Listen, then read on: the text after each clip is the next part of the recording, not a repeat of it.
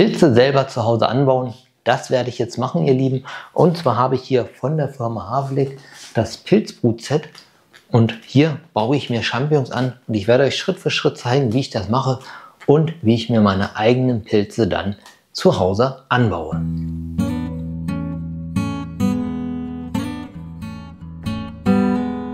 Ja, das Pilzbrut-Set, das habe ich euch übrigens unten einmal verlinkt. Da findet ihr alle Informationen, die ihr benötigt. Und ich würde sagen, jetzt schauen wir mal rein, was da so drin ist. Ja, in dem Karton hier habt ihr alles, was ihr benötigt, um die Pilze anzubauen. Hier habt ihr erstmal eine Anleitung. Ansonsten findet ihr die aber auch als QR-Code hier entsprechend auf dem Karton. Auch die Webseite ist hier einmal verlinkt. Ich werde hier übrigens Champignons anbauen. So, dann haben wir hier eine Deckhaube. Hier haben wir dann die Deckerde und hier haben wir das entsprechende Substrat. So, im ersten Schritt legen wir jetzt hier mal das Substrat entsprechend frei.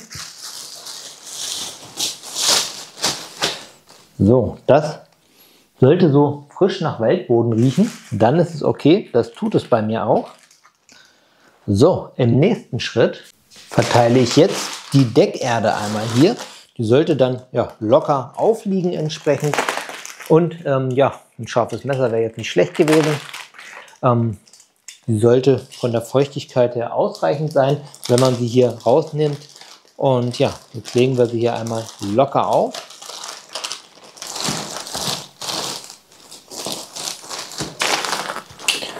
So, bei mir sind das zwei Beutel. Den öffne ich jetzt auch noch leg den locker auf und verkrümel die Erde gut. So, nachdem ich das jetzt hier alles schön ausgebreitet habe, ähm, werde ich den Karton verschließen. Sollte unerwarteterweise die Erde mal nicht ganz feucht sein, könnt ihr das mit so einem Sprüher so ein bisschen äh, ansprühen. Wichtig, die Erde sollte dabei nicht schlammig sein, sondern nur feucht. Ja, jetzt wird das hier ähm, geschlossen. Ich mache dazu einmal die Folie drüber und auch der Karton wird entsprechend jetzt verschlossen und bei Raumtemperaturen warte ich jetzt zwei bis drei Wochen, also so 18 bis 20 Grad sollte das sein. Und dann sollten sich nach zwei bis drei Wochen ähm, ein Pilzmyzel gebildet haben und dann geht es weiter und so lange warten wir jetzt mal ab.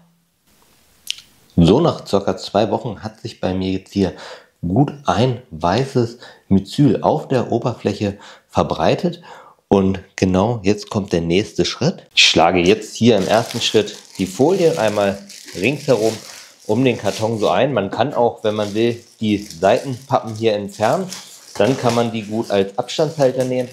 Ich nehme dafür aber hier diese Stöcke, die ich jetzt hier links und rechts einmal in den Karton hineinstecke.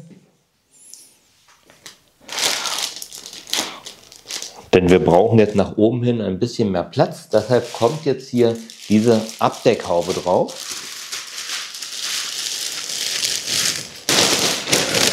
So, ich hatte den Karton immer jeden Tag etwas gelüftet, circa für fünf Minuten. Weiterhin werde ich das auch lüften, aber zur besseren, besseren Luftzirkulierung mache ich hier noch ein paar Löcher in die Folie hinein.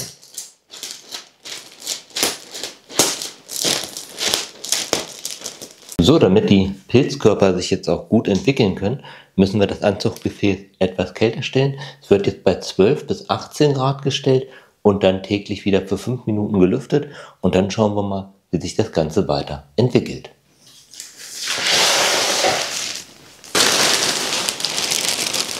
So, nach circa vier Wochen sind jetzt hier meine ersten Champignons gewachsen. Ja, jetzt beginnt eine Zeit der Ernte, denn nach und nach werden jetzt weitere Pilze nachwachsen.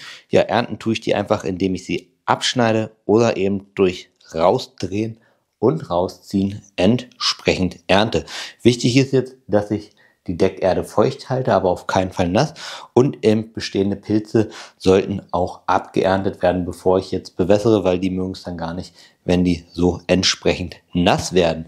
Ja, so funktioniert das Ganze. Irgendwann wird das äh, ja nicht mehr zu gebrauchen sein, dann fällt es in sich zusammen. Dann könnt ihr das über den Kompost entsorgen. Das sind nämlich wichtige Nährstoffe, die darin enthalten sind. Ich hoffe, das Video war informativ, hat euch gefallen. Wie gesagt, die Pilzbox findet ihr unten, auch im Beschreibungskasten. Da könnt ihr euch das anschauen und das zu Hause genauso nachmachen, wie ich das gemacht habe und eure eigenen Pilze ziehen. Ja, wenn euch das Video gefallen hat, gerne einen Daumen nach oben, ein Abo dalassen, wer sich für Haus- und Gartenthemen interessiert. Bis zum nächsten Mal.